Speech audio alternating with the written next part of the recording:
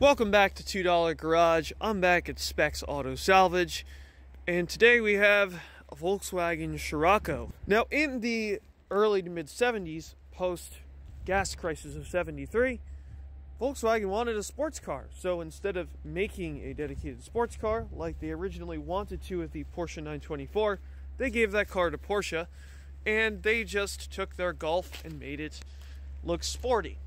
And this is the result. The Scirocco was designed by an Italian guy named Giugiaro, and uh, he did a pretty good job on it. This is a Mark 1 Golf underneath.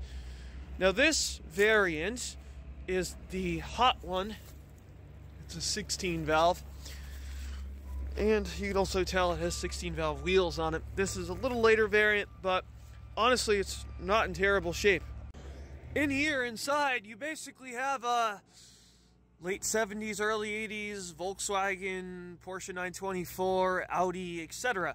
It's all the same. Now, this one's been modified a little bit.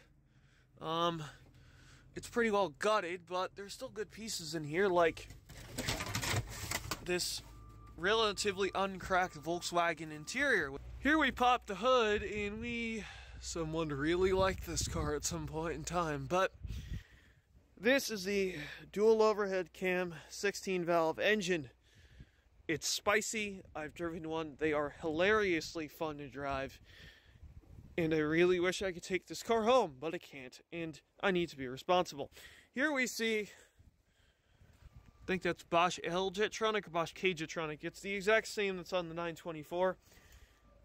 And the motor is surprisingly intact, which is really uncommon.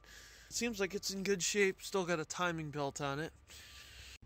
Another sign that someone really enjoyed this at the time was H2OI. Now that got shut down because people were being idiots and doing burnouts and stuff.